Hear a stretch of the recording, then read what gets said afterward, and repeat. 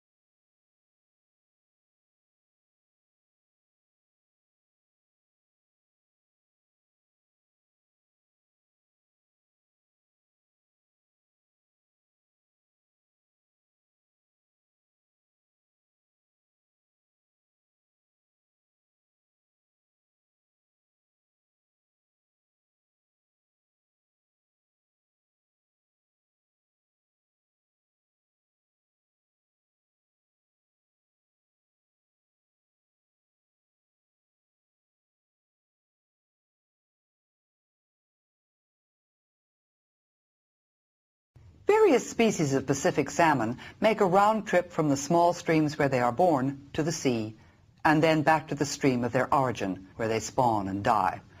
This round trip is known as the salmon's run. The end of the salmon's run is the beginning of the next generation. Pacific salmon hatch in the headwaters of a stream.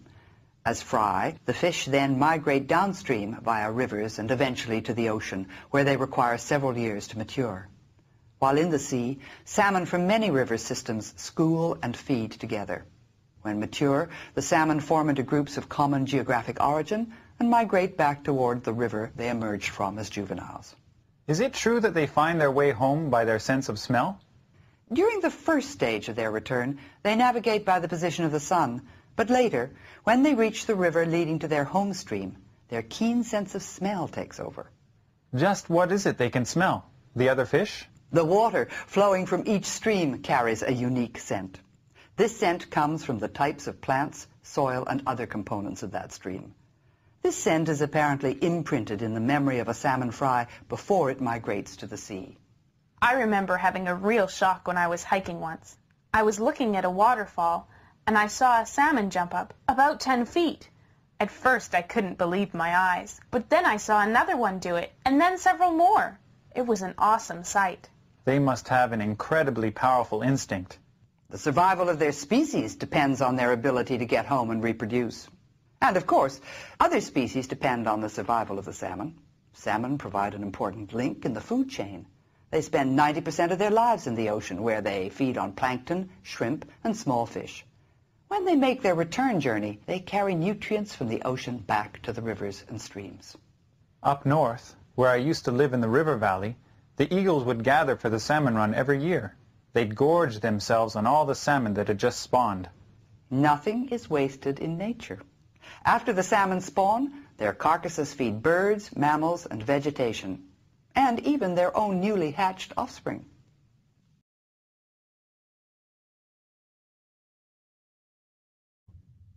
Avalanches are a constant threat on mountain highways.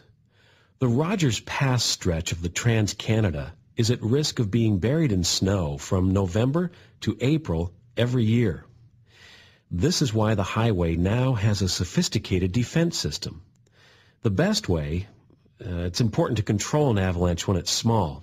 So a slide is set off while it's still small before it builds up into a serious danger. A team of snow technicians monitors the snowpack. They sort of read the snow and try to predict when it's likely to slide. They study data from the weather stations in the mountains. As the danger increases, they drop explosives onto test slopes to see if the snow can be made to slide. It's kind of tricky trying to decide just when the snow will slide. The weight of the snow, together with the force of gravity, is what starts an avalanche. The technicians don't want to wait till it's too late but if they're too early, before conditions are just right, the snow won't release. When the time is right, they close the road and remove all traffic from the pass. Most closures last two to four hours. Then the Army comes in. A 10-man artillery crew operates a mobile 105 millimeter howitzer, firing shells into the slopes. This sends out shock waves that trigger the avalanches. Slides are set off one by one. The technicians direct the action, telling the troops where to aim the gun. Visibility can be awful. Then they have to check and see if the avalanche has released well enough. Sometimes they drive their trucks below the slide path, kind of dangerous work, and they listen to the snow come down. Sometimes, if the slide is bigger than they expected, they might have to make a speedy getaway. Number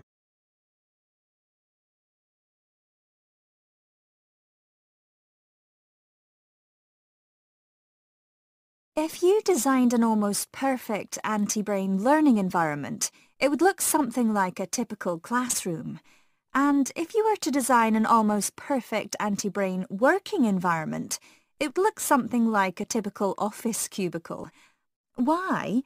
Because tiny proteins called BDNFs are actually created when you exercise, and these help the brain to develop. So exercise boosts brain power. The problem lies in the fact that we measure distance today in terms of the space between the refrigerator, the bathroom and the couch. Says Robert Hutchins, whenever I feel like exercise, I lie down until the feeling passes.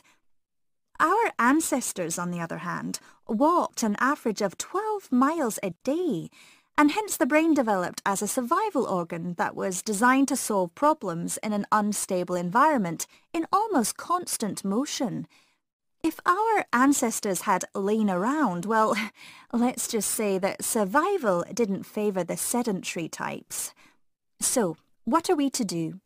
If I were an employer, I'd want the workplace environment to encourage exercise, to boost my employees' brain power.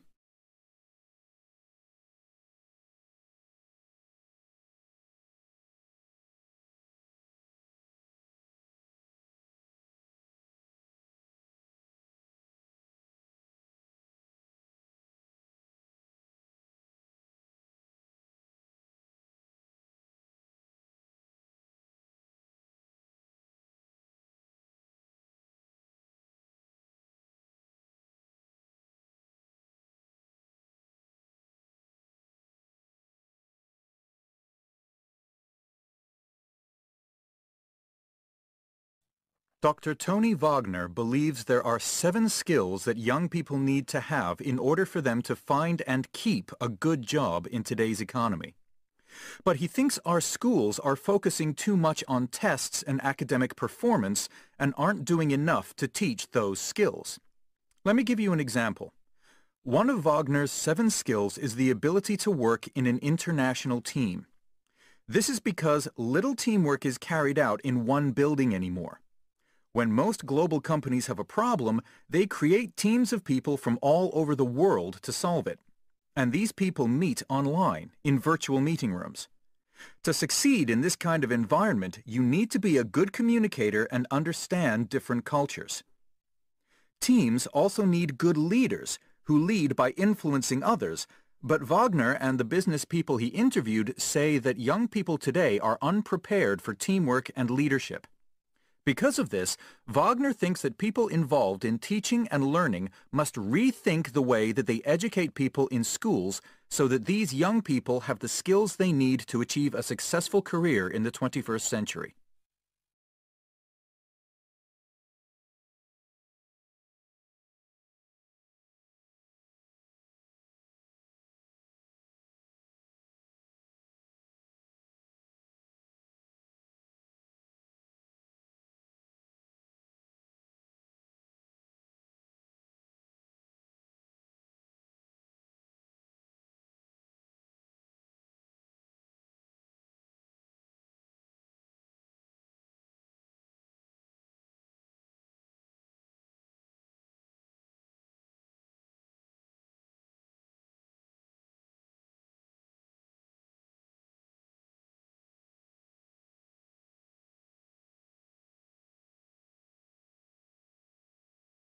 Good afternoon, Miss Davis. I was told by James that you wanted to see me in your office. Oh, I did.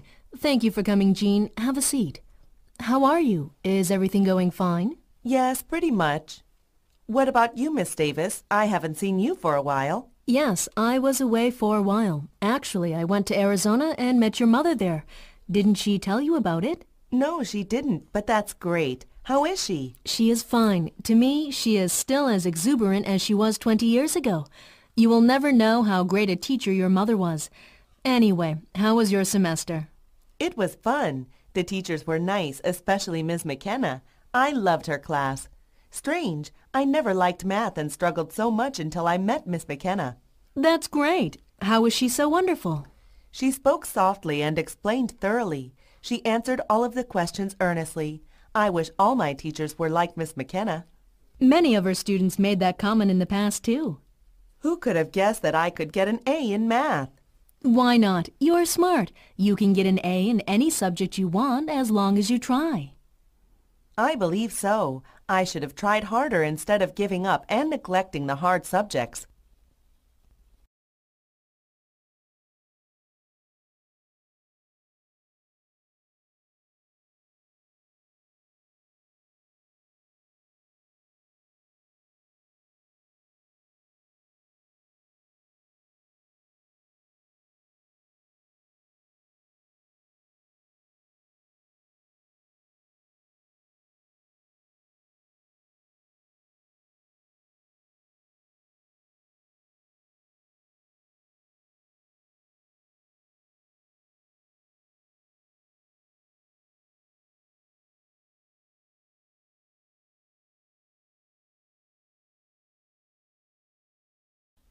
Both the rotation of the moon and its revolution around Earth takes 27 days, 7 hours, and 43 minutes to be exact.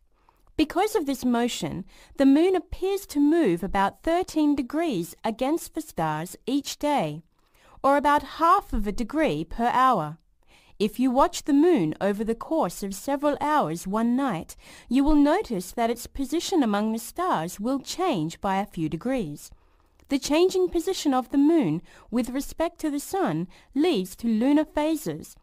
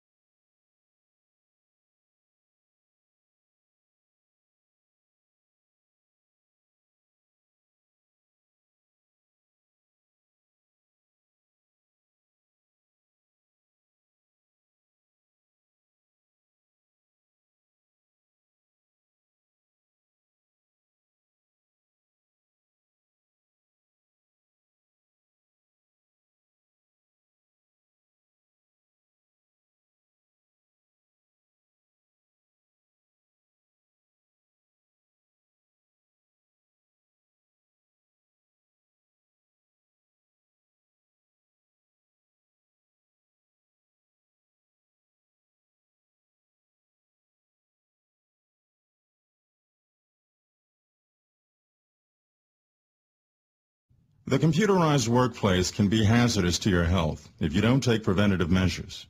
Today, we'll go over what some of these hazards are, and more importantly, what can be done about them. One major complaint, maybe the biggest complaint, of people who spend time at the computer is eye strain. To help ease the strain on the eyes, the computer screen should be about two feet from your eyes. The entire screen should be in focus. The brightness and contrast should be adjusted for best readability. A good way to relieve eye strain is to look away from the screen frequently. Focus your eyes on objects that are far away, like something outside, the building across the street or the tree in the park.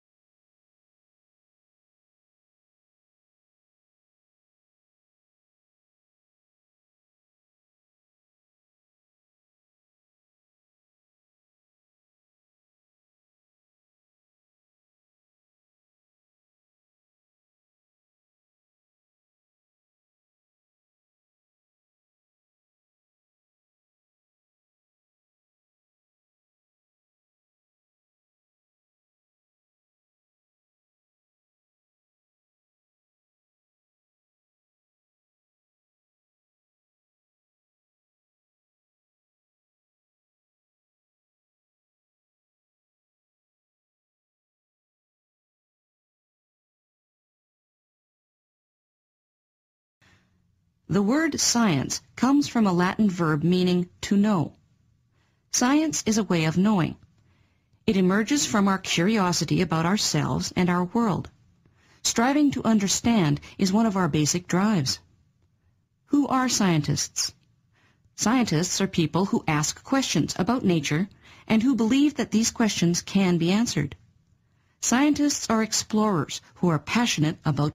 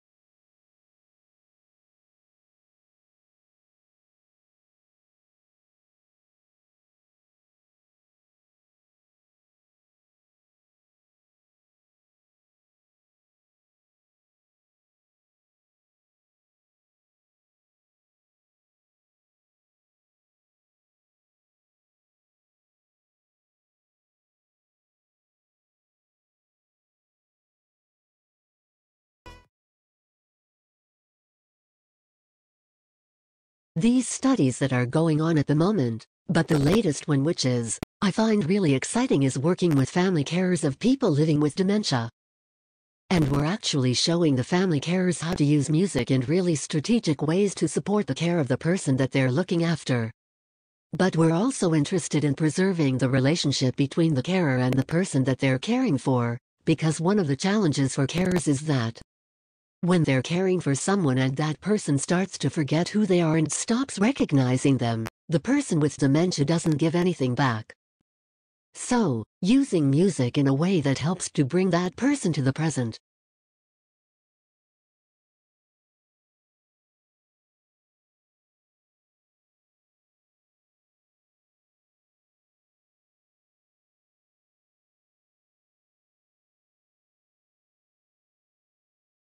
It's been interesting because in the last week or so, there's been quite a bit of media kerfuffle about the topic of indigenous science.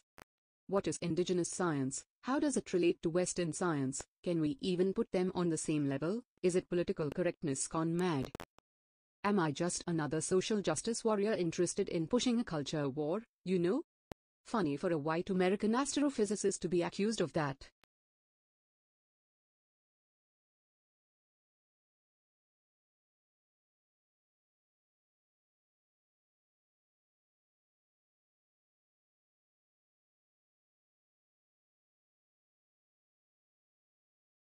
And the future, of course, lies somewhere in between those. It's not like it's black and white or shades of grey. But putting these extreme scenarios helps us tell the story and imagine what the futures are. And the four scenarios that we did in this study. I'm going to summarize briefly just because of time. The first one is something called the global orchestration. Global orchestration, I would summarize this word dominated by the United Nations.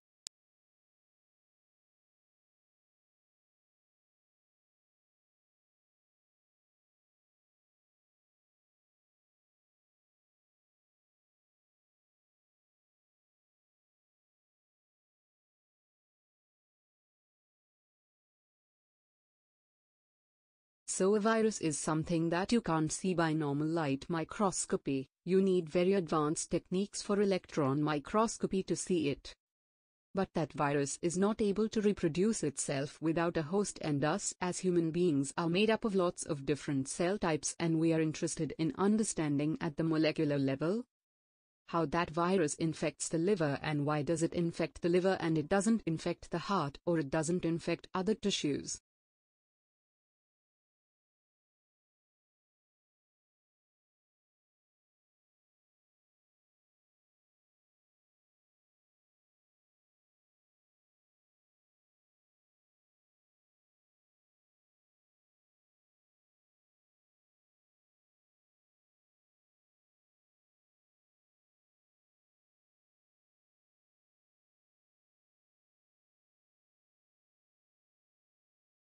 Finally, we take a look at how to mix an unmixed liquid at the flick of a switch. Sandrine tells us more. Oil and water don't usually mix, but the new chemical sensitive to light has been added here to blend them together just as easily as it brought them together. It can also separate them out again. When exposed to UV light, the chemical changes its structure and becomes soluble in water. This causes two layers to form with the oil floating on top of the water chemical combo. This method should be cheaper than the current alternative which involves using high-energy centrifuges.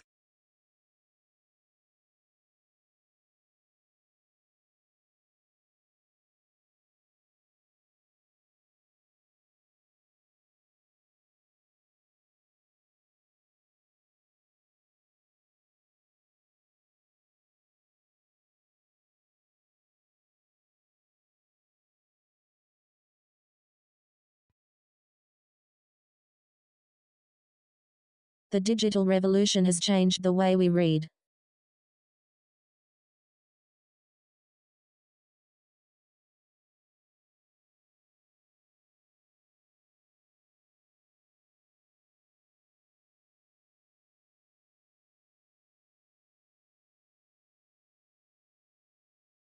The digital revolution has changed the way we read.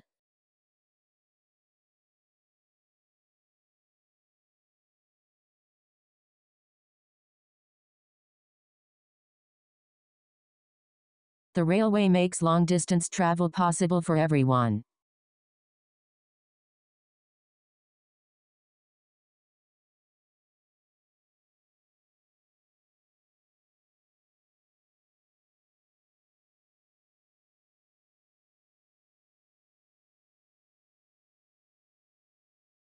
The railway makes long-distance travel possible for everyone.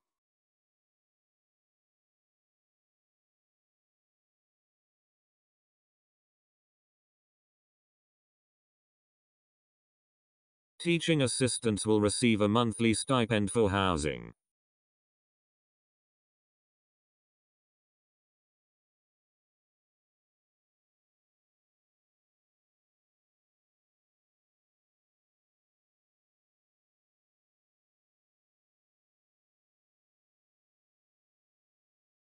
Teaching assistants will receive a monthly stipend.